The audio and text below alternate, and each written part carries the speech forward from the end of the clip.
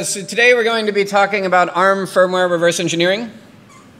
The, um, the idea here is that you have a small embedded system. We're talking something too small to run Linux or Android, something that has no memory management unit but is still running the ARM architecture.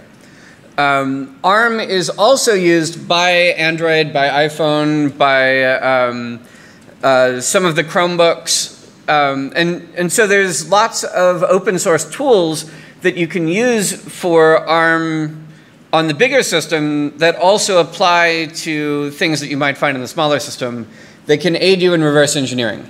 Um, so the specific example that I'm going to be using is a ham radio, a handheld digital ham radio that I've been reverse engineering. Uh, show of hands, how many of you have reverse engineered something from China? Malware does not count? Okay, a few hands stayed up. Um, so I, I, I took um, a Chinese amateur radio and I, um, I started writing Linux tools for it. And as I was writing them, uh, at some point I, I, typed in the, the commands wrong. And instead of sending me back a, a copy of its settings, it sent me back the beginning of firmware. Um, it turned out this was a null pointer dereference read that was unindexed um, which was exploitable and could be used to dump out the firmware. The firmware dump could be used to turn JTAG back on. JTAG could be used to dump a complete copy of all of the firmware.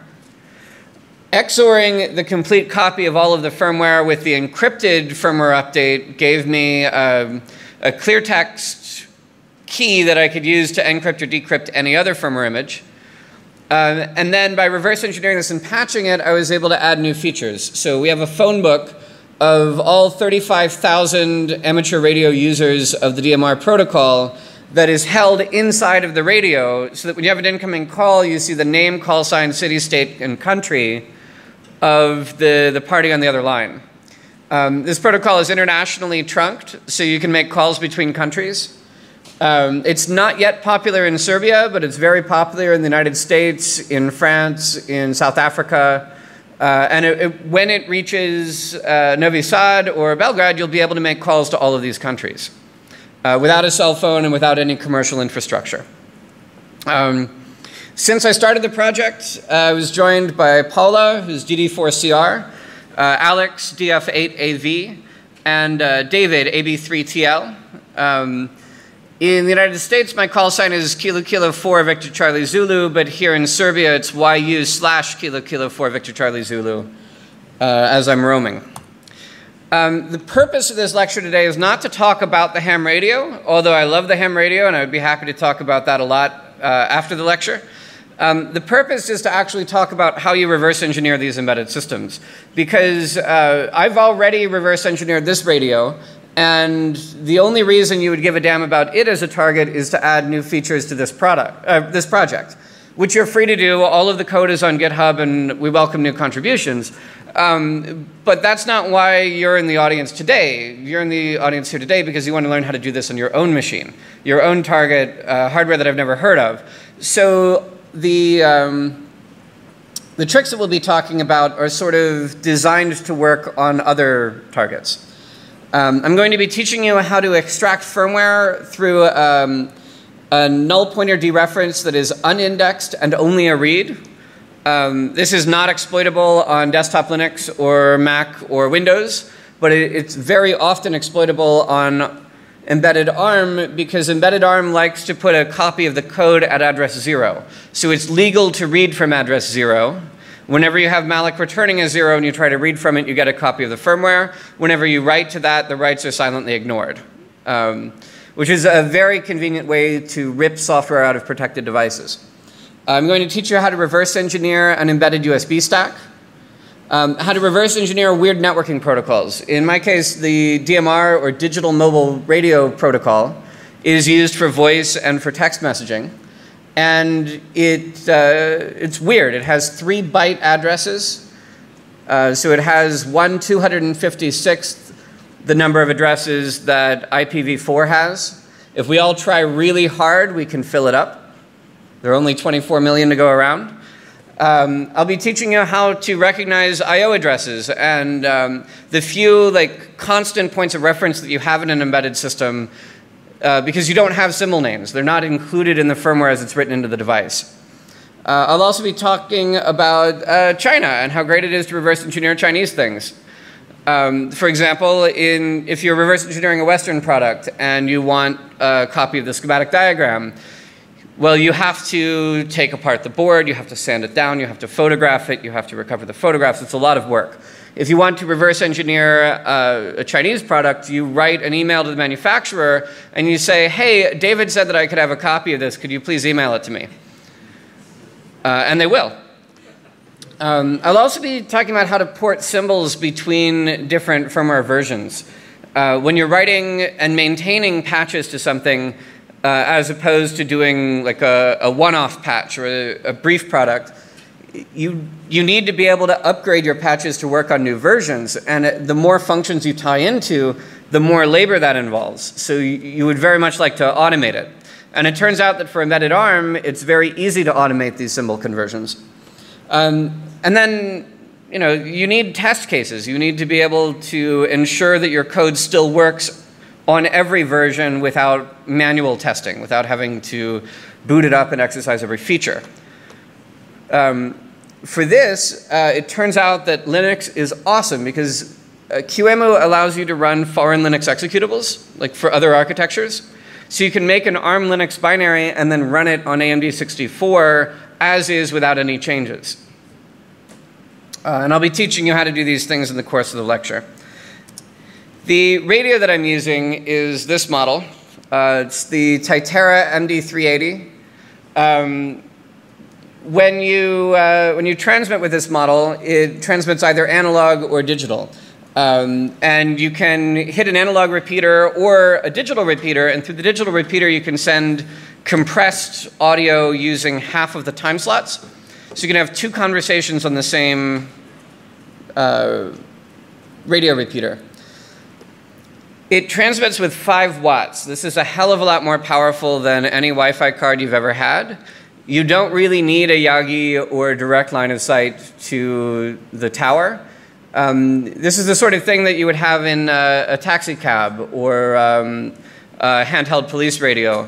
And with that much power, you get coverage indoors. So even though there's only one tower in this city, and that tower is rather far away, and the tower itself is uh, blocked by all of these walls, by the infrastructure of the building. If I transmit, you'll actually hear the tower come back. Um, and if I said hello, they would say hello back, and uh, legally I probably should have just identified myself. Um, now, it can do either digital or analog traffic. The analog is done for backward compatibility, which is how it connects to the tower that's been here for a dozen years. Uh, the digital towers are rather new. They were originally used for broke police departments and for universities and um, dump trucks and that sort of stuff. Um, but now that the cheap radios are available, they're filtering down to uh, amateur use. Uh, you can take a test at the local amateur radio club, get a license, and hop on the air, and freely use this as a replacement for cell phones. Uh, the hardware in this device is the STM32F405, which is a 32-bit ARM core. It does not run the ARM instruction set. It runs a reduced instruction set called Thumb.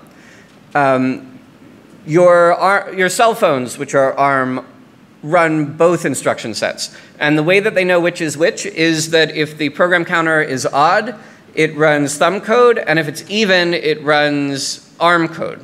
And this way you can have two instruction sets simultaneously existing inside of the same program. You can bounce back and forth between individual functions.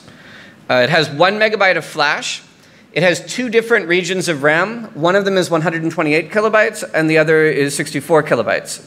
Combined, you get 192.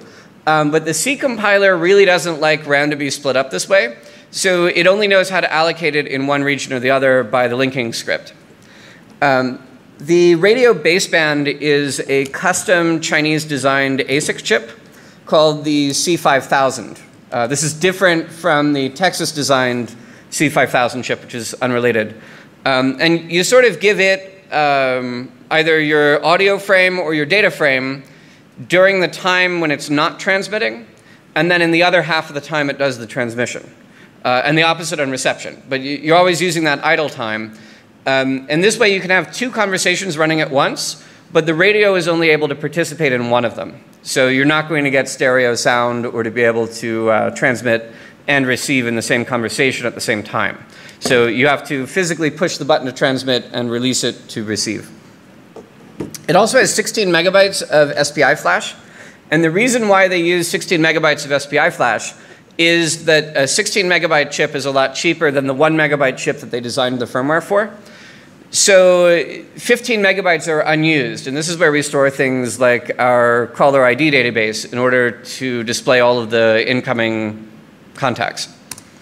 Um, a, a, network for this protocol is very large. This is a, a map of Tennessee, which is where I'm from. Um, in the middle is Nashville, which is sort of like our Belgrade, and um, toward the right, in the middle of that big green area, is Knoxville, which is our best city and our equivalent of Novi Sad. Uh, it's like a university town with very good beer and friendly people. Although most of the Turbo Folk concerts are in the bigger city to the west. Um, so uh, this network has six towers. They're bigger networks, of course. Um, but through these six towers, you can transmit to any one of them and be heard through the others. So uh, I have, my friend Josh is in Nashville. If I'm in Knoxville, I can transmit to my local repeater and it will route that traffic through the internet and he will hear me on the other side. Um, you can do either group calls or private calls, and you can also do text messaging. Uh, the radio supports cryptography, but not very good cryptography. Um, of particular interest is that the audio cable, uh, the pinout for which I show here, also contains USB. And it's not a USB to serial chip like many other amateur radios. It's actual USB implemented on the STM32. You can reprogram this chip to do mass storage, to pretend to be a printer or a hard disk or whatever else you like. You could boot from it if you cared to. Um, so as part of my reverse engineering, I wanted to figure out like how to capture packets for it. There was no packet sniffing hardware available when I began this project. Um, so I wrote a series of Python scripts combined with firmware patches that allow you to do things like uh, dump text messages. So this is a, a, text message that I sent from one radio to another. Um, and the, the contents of it is ASCII with a couple of accent marks. Um, so it's 16-bit wide ASCII instead of 8-bit wide ASCII but it's not encrypted. Even if you enable encryption for the channel, the Titera radios, the ones that I've been reverse engineering, leave all of the uh, encrypted traffic clear text. Uh, the same thing happens with audio for all of the metadata. So even if you couldn't break the crypto, you would still see uh, what my source address was and what my destination address was. If that's not enough, uh, a lot of the, very, the most common audio frame that you get is actually the silence frame. And the cryptography is, um, it wasn't designed to be this way, but in practice, uh, it, it's a very secretive algorithm called exclusive OR. And uh, so if you just XOR with the silence frame, which is all zeros, uh, you can recover the audio. Um, I also wanted to be able to communicate with this radio um, like from my phone as I'm wandering around, right? I, I, didn't want to have to have a laptop to do all of this. Um, so I wrote an Android application, um, which you can see in this blurry photograph here.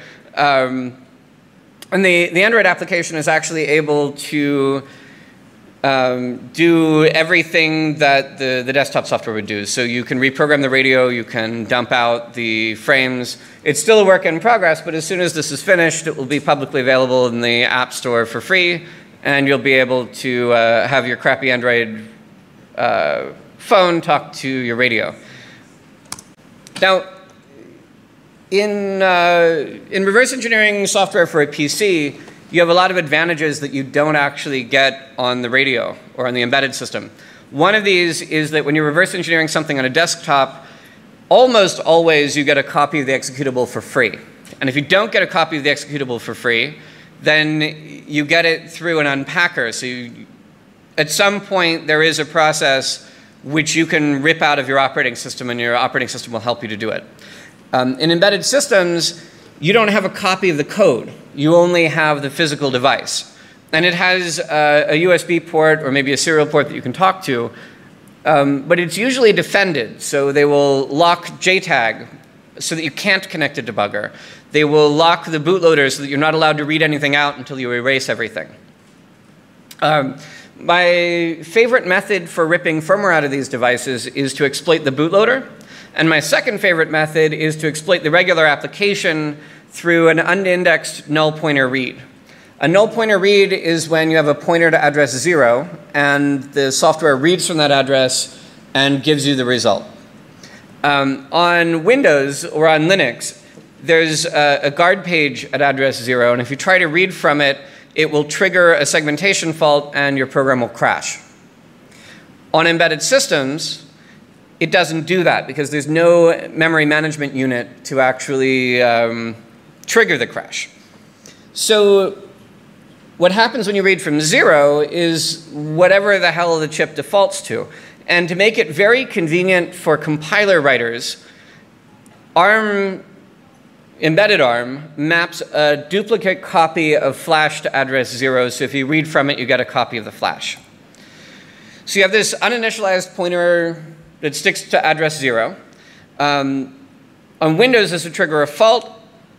But on, and in order to exploit it on Windows, you need an offset. You need to be able to say, no, no, I didn't want zero. I want the 16 millionth item in the array that begins at zero. And that will read for, far enough up. In the Cortex-M4, because there's this, this uninitialized buffer pointing to zero that you can read from, um, flash, which is normally at 0800 and change, gets duplicated here, and if you read from it, you get a copy of it.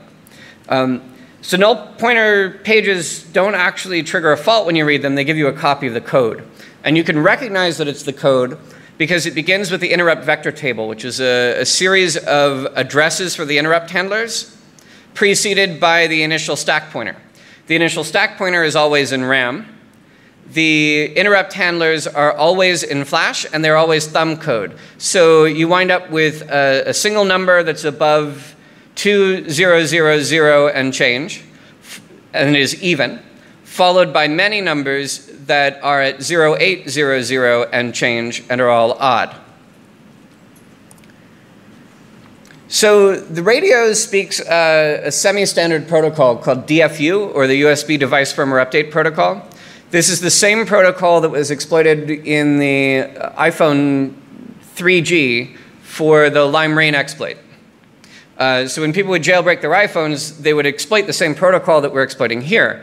Um, the protocol allows you to read and write memory pages, but there are multiple memories that you read from. So in the MD380 implementation for the radio that I'm attacking, uh, you can actually specify which radio you'd like to read from, and if you don't specify any, then it defaults to address zero. Um, so the buffer is null, and when you read out of it, it begins at zero, and the maximum amount you can read is 48 kilobytes. It just so happens that the first 48 kilobytes are the bootloader that decrypts the main firmware image. This is even better than having a copy of the main firmware image because this is the code that actually decrypts it. Um, and it's also the code that's responsible for locking JTAG. So I can change one byte of this program, write it back into a fresh, brand new chip, and have the exact same bootloader with the exact same behavior, and the only difference is that it never locks debuggers out. So then I can install a firmware update, attach a debugger, and read out a copy of all of the code, um, be, allowing me to read all of the firmware. So uh, I had a, a, friend of mine visit town. Um, she comes to town, I give her a copy of the code base, and in the course of a couple of days, um, she realized that the firmware update was using AES in counter mode. Counter mode is where you use the AES encryption algorithm as a random number generator, and then you XOR those random numbers with the data that you want to keep secret. Um, the bug was that they repeated the position in that random number stream every 512 bits. So for every block of memory that was being read or written, they were XORing it with the exact same key stream. So if you just XORed one block of this from the encrypted firmware update with the unencrypted firmware update, you would get uh, the key. And then you could XOR that with anything else to encrypt or decrypt it, same operation. Um, and this allows you to then decrypt the official updates from the manufacturer and re-encrypt them to run, uh, to, like to re-sign your own code so that it will be installed by the official factory update protocol and firmware. So at this stage, we no longer need to modify the hardware or use our own hardware. We can just reuse the existing manufacturer hardware and software and protocols. But it's at this stage that you need to begin reverse engineering it. Uh, so like, how do you find the useful, useful parts and how do you figure out what they do? Uh, and then having found them, like, uh, how do you make changes to them so that your code instead of their code runs at just the critical portions? Uh, for example, you might find the function that matches an address and then patch that to accept all addresses in order to enable promiscuous mode. Uh, which as you'll recall from Wi-Fi was pretty fucking handy in actually being able to um, exploit vulnerabilities in Wi-Fi that prior to 2006 were kind of untouchable. The first thing you need to know is where things are in memory. Um, unlike Unix or Windows where you have um, a varying memory layout per process with address-space layout randomization moving things around, on an embedded system, everything is stuck at a fixed physical address. Uh, and there is no such thing as virtual memory. So all of the I.O. ports, when you read from a serial port, when you write to a serial port, when you access the USB controller, all of those addresses begin with a 4.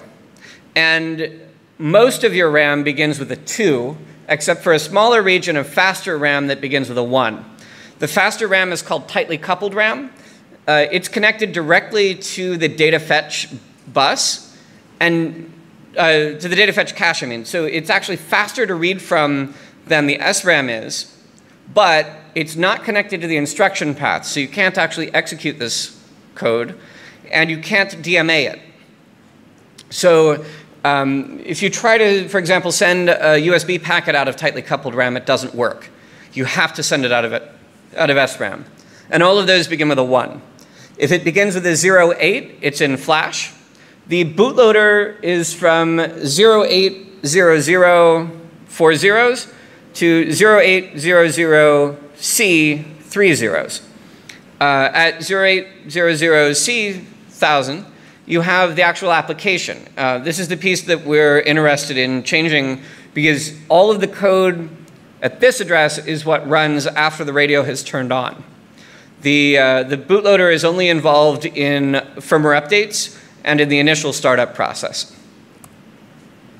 In IDA Pro, which is hellishly expensive but very effective, um, all you need to do is get a, a copy of the firmware dump, load it into a process, and then tell it that it should have RAM at the location where RAM should be. So in this screenshot, I'm telling IDA that RAM starts at 2000 and change hexadecimal, and that ROM starts at 0800C000. And then I give it a copy of the binary firmware image that I've extracted from a firmware update. By doing these through a firmware update, uh, I can use the manufacturer's own publicly released files, and I never have to leak any confidential information myself or extract this information from a physical device. Um, now, IDA Pro is very, very expensive, um, but there's a, a, free competitor to it called Radara 2. Um, there was a, a, conference these past few days in Barcelona where they were, uh, all the developers of Radara 2 got together and added new features. Uh, there are some tricky pieces to it. The first is that you have to run today's version because they fix bugs every single day. Um, every time you sit down at your laptop, you grab a new version and then you build it and then you run it. Um, it's used from the command line with an optional web interface. This is the command that will load my firmware dump as a 16-bit image to the correct address as an ARM application. Now, the first thing that you need to do is you need to find useful functions. Uh, if we were on a PC application, we would look for things like printf, maybe hunt all of the printing of error messages, and then work our way backward in order to figure out which functions called them and what those functions do. Um, in embedded systems, you don't have error messages. If it crashes, it crashes and tough shit. Um, but what you can track are the I.O. addresses. So I know that all of the I.O. addresses begin with a 4, and I, I have a complete listing of all of them from ST Microelectronics, which is the manufacturer of the CPU. And these are the same for all, uh, all units of that CPU. So I know that the flash controller begins at 402300, and I know that the flash protection register, which disables the write protect field, is at 4002-3C15. So if I search through all of memory for an access to 4002-3C15, I know that that function is being used to either enable the write protection or disable the write protection of the flash.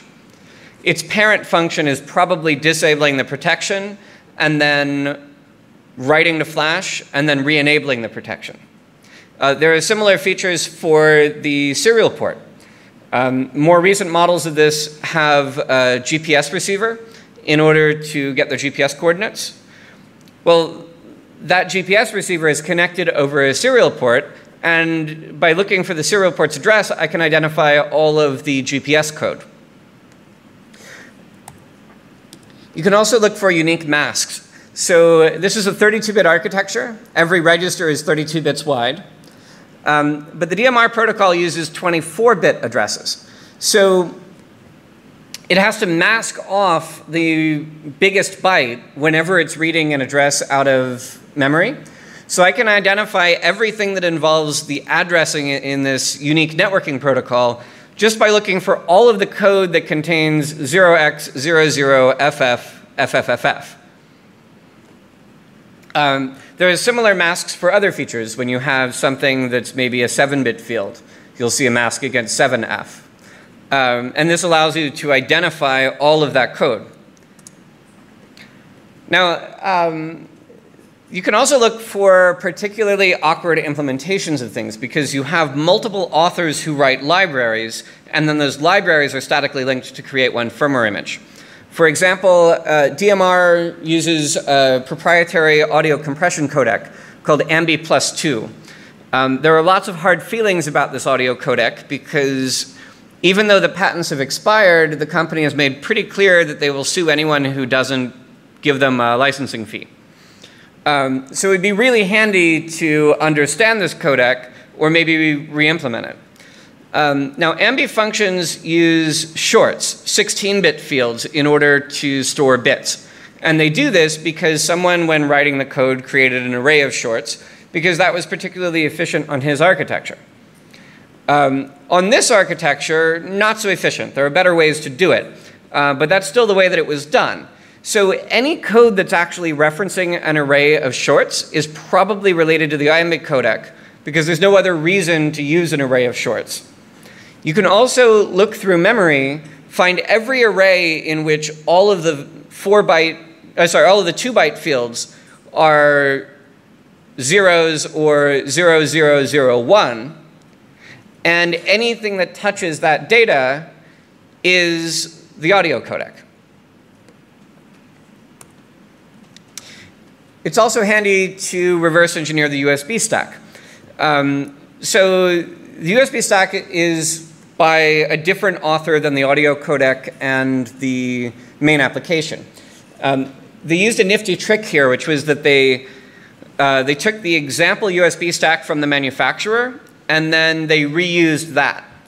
Well, when you do this, the source code is available. So unlike the rest of the radio, you can actually go to ST Microelectronics website and get a copy of the example that was forked for this project. This then tells you how it's architected, all of the data structures, it gives you the header files. Um, it's lovely for reverse engineering. So you see that the handlers are function pointers.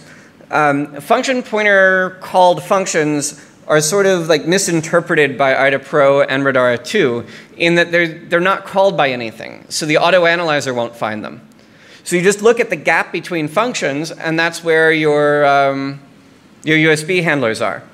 Um, so in order to find them, you search through RAM for pointers to flash memory. You'll find these for things like graphics, because you know, if you have a sprite, you want a, a pointer to the sprite, and the sprite will be in read-only memory. Um, but the, the functions are data, and the, sorry, the functions are code, and the, uh, the sprites are data. Data is at an even address, code is at an odd address in this architecture. So you can use that to throw away all of the data references and give you only the function pointers and all of the function pointer targets once you get a dump of RAM.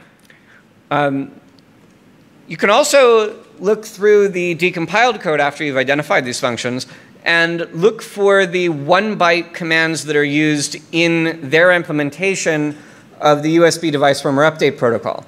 So in my case, I know that there are special manufacturer commands for 2.1, 4.1, A2, 9.1, and C4.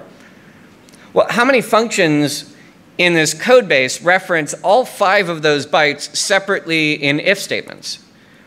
Turns out there's only one.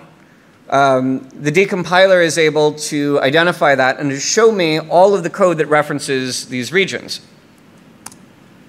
You can also do, uh, you, well, you also need to do function hooking because uh, once you've identified the USB stack, uh, you don't want to make minor changes to it in assembly language because that is a ton of labor and it's not portable between versions.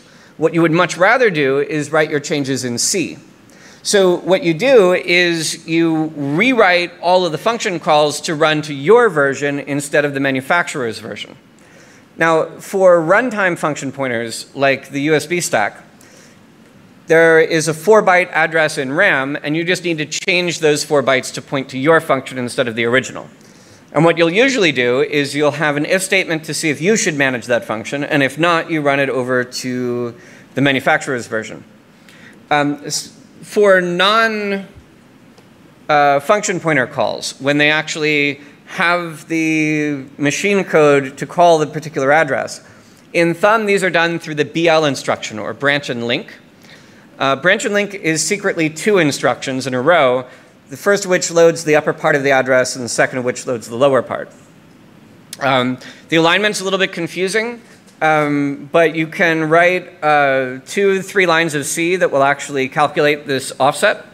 And then you can run through and identify all of the calls to a particular offset and then patch them. Now, you need room to put your code. Um, so there's one megabyte of flash, internal flash, flash that you can execute code from. There are 16 megabytes of external flash, but you can't execute in place for that, so it might as well not be there. Uh, but this is a Chinese design. So in the one megabyte where they've taken all of the, uh, the memory and used all of it, um, a fifth of that, 200 kilobytes, is the Chinese font. Now, you can cut this out, and the only side effect is that you see random crap instead of Chinese letters. So you cut that out, and you see random crap instead of Chinese letters, and then you use the Latin alphabet instead, and you're good. Um, so this allows you to then have a complex C compiler with a lot of code and plenty of memory left over as far as the code goes. You also need room for your own RAM because these 200 kilobytes are executable and they're readable, but they're not writable or they're not quickly writable. So you need to find unused RAM. And the way that you do this is you realize that there are two different RAM regions. There's one that begins with a 1 and another that begins with a 2. You overwrite all of this with a string that you can look for later. In my case, I used dead beef. Um, I'm wondering if there's, uh, yeah, you, you could write, overwrite all of it with Ceca, like Ceca Ceca, and then uh, check back afterward in order to see how much of that got damaged by the main application. For example, the main application has um, global variables that it initializes to zero at the beginning. Well, all of those will be overwritten, and you won't mistake them unless the author of that application also thought it would be a great idea to have a large region with Ceca Ceca. Um, there's no G, but maybe the 6 is close enough and you could do Goga Goga. Um, So you, you paint this before you actually enter the manufacturer's firmware uh, by overwriting all of the words in RAM with it. And then after you've started the manufacturer's software, uh, you then dump out all of the RAM over, say, USB. Um, you then look for large continuous chunks of Goga Goga or Ceca Ceca, and you'll find that 20 kilobytes of the tightly coupled RAM are unused. So you tell your compiler to target this region, and then you can overlap your firmware with their firmware and have a completely functional combined application. Uh, at this point, you have a proper C compiler. You can redirect function calls from the original firmware, and you can uh, call back to the regular code, and you're good. You're golden.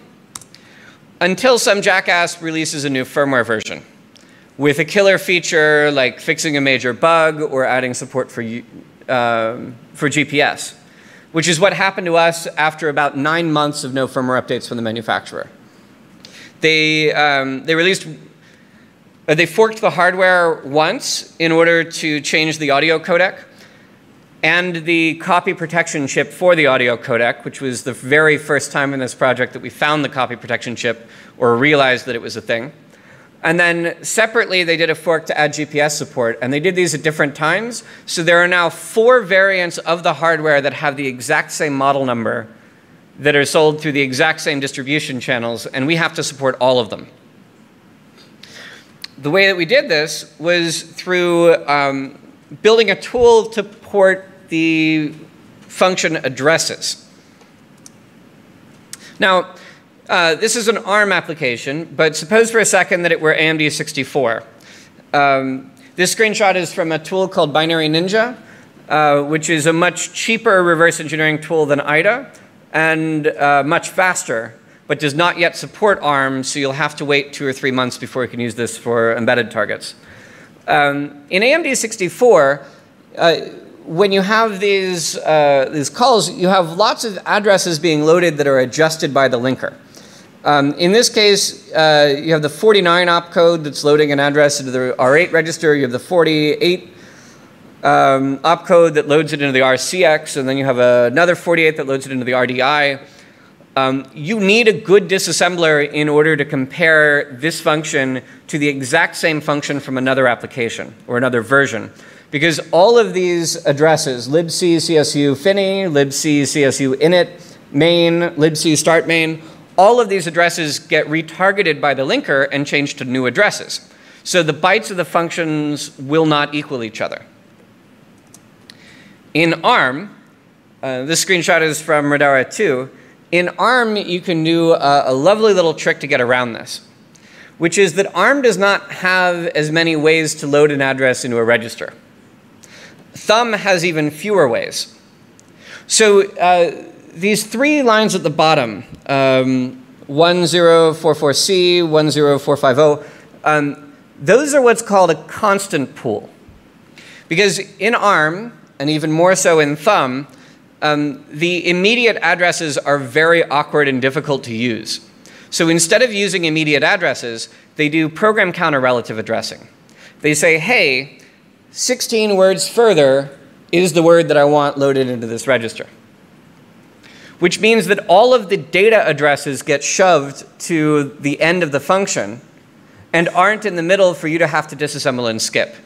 And the only exception to this is the function call, or the branch and link uh, instructions.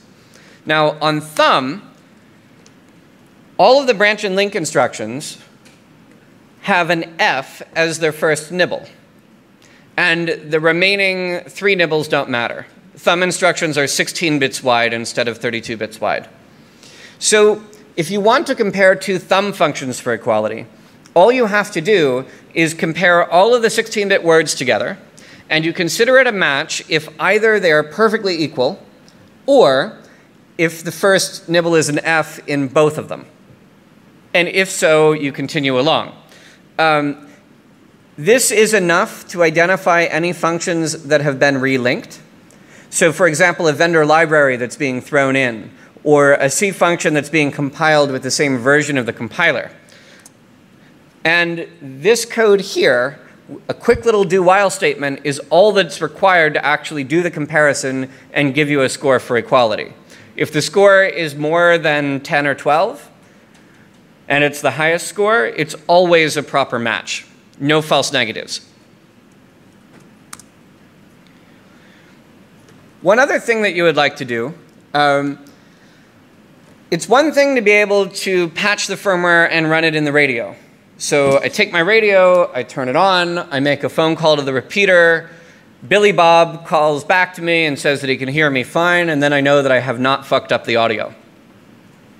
But when I have to support multiple target firmware versions, and my code has to be bug free, or Billy Bob will call all of his friends and they will all file separate support tickets on my issue tracker, I really, really need to make sure that I can test my code automatically rather than having it be tested by the poor user who tries to run it first. So I made this tool, which is called MD380 EMU. MD380 EMU is the firmware for this radio recompiled to run on Linux. And the code to get this working is very, very small. We're talking two pages. The trick for this is uh, I begin with an ARM Linux executable, something that you might run in a Debian shell on an Android phone. Um, there's a system called, called mmap. mmap allows you to map a file into RAM. This is what you use when you have a file that's much larger than RAM, but you need to randomly seek inside of it. And you need it to be at a particular address. I don't actually remember the historical reason why you're allowed to specify the address, but you are. So what you do is you tell it that you really want the firmware file mapped into memory at the exact same address that it would be in the radio firmware. And then you can call all of the functions inside of the firmware. And as long as they don't require a hardware feature that's in the radio but not in your phone, they still work. It can run the same instruction sets. It can run uh, the same vector additions. All of the audio codec still works. You can also uh, use objcopy to take the firmware image and then copy it into an ELF linkable module. And then you can link those modules together in order to have a regular ARM Linux executable that, um, that contains the firmware image and is able to execute all of the functions that are in that image. These are the same functions that you've reverse engineered in order to um, interact with the code in your patching. Um, if you could turn the audio on. Okay. So the other thing that you can do is you can then take this code and you can use it to turn any of the libraries that were used in the radio into libraries that you can use on your desktop. Because now, I, I told you that this was an ARM Linux executable, but my laptop is AMD 64. There's this convenient little tool called QEMU that uh, is like normally viewed as a poor man's competitor to VMware or VirtualBox. But one thing that it's very, very good at is that you can run Linux executables from one architecture on a different architecture and it transparently emulates it while maintaining all system calls. So your phone can use this to run proprietary software that was intended for your desktop, and your desktop can run proprietary software that was intended for a Raspberry Pi. In this case, my desktop is running the audio codec from the radio inside of a regular command line application that allows me to decode that radio image decode the radio um, audio packets and convert them into a standard WAV file.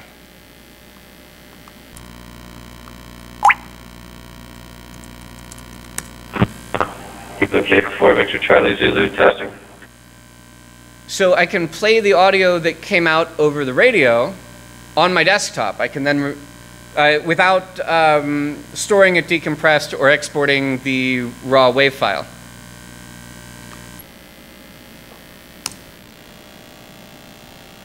Um, this allows you to do things like um, uh, convert music So, for example, uh, in that Goga song, she has that like annoying audio clip. Uh, sexy businessman. She says, "No problem," right? So you can hook the encoding end and then convert the Goga sample to play at the end of every transmission you ever make from your radio. So that you know you hop on the, the radio, you talk to Billy Bob for a while, and the minute you click off, the way that your radio will tell the tower you're done is that Goga Sekulic will say, no problem, and you're good. Those are the tricks that I have for you today.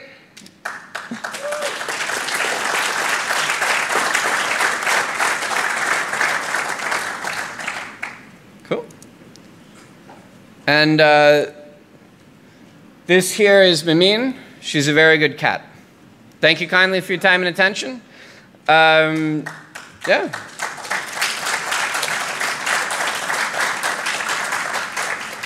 Uh, yes. How do you handle privileged instructions when you just map the file into the memory? Okay, so the question was, uh, how do I handle privileged constructions? You mean like um, user to system? Okay, so uh, the way that I handle user to system stuff is that embedded ARM developers, except for Matthias here in the back, don't actually use those features. Um, so in my firmware image, everything is running in user mode. It never actually makes a system call.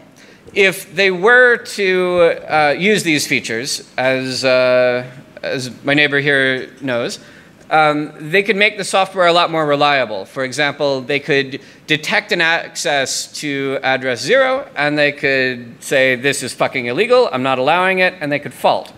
Um, but they don't do any of that because the, in an embedded system, the application developer, the guy who is tasked with making the product and have the product ship on time, is very often the same guy writing the operating system. And he's not interested in making the operating system correctly. He's interested in getting to Hello World and then getting Hello World into a shippable product. Um, so there are, there are all sorts of nifty features in here that might be used that as you're reverse engineering a product, you never find. And you just map all the other memory, like memory mapped registers and so on, so that it doesn't crash? Oh, no. Um, so you, you can do that. So, uh, for example, the, they might access the I.O. registers that begin with a 4, right? And if I need to, say, implement the external SPI flash memory, which is accessed over an SPI bus, there are two ways to do that. The first way is to complete the emulator by actually handling the segmentation fault, recognizing the access to the, the I.O. register, faking the results, and then returning. Um, the other way to do that is to identify the functions that actually talk to the device. So SPI flash read, SPI flash write, um, and hook just those functions to run to my overloaded copy. Um, and the particularly nice way to do that is to just map the code as a writable page. So that even though uh, I'm not able to do runtime overwriting of the firmware inside of the device, I certainly can in a Unix process.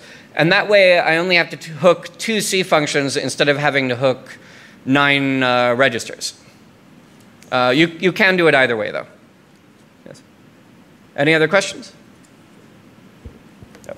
Here in the front.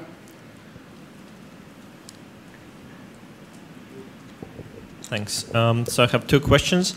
Uh, is there anything you can add about China? Oh, And, uh, and the second one is you mentioned something called Turbofolk. Uh, what, what, what is that? That, that Oh, tell okay. us more about that. Uh, so China is number one, Mandiant is number two, and Turbofolk has to reset the scale. So Turbofolk is indexed at zero. Uh, um, cool. Thank you kindly. Uh, I'll be in the beer area if you have any further questions.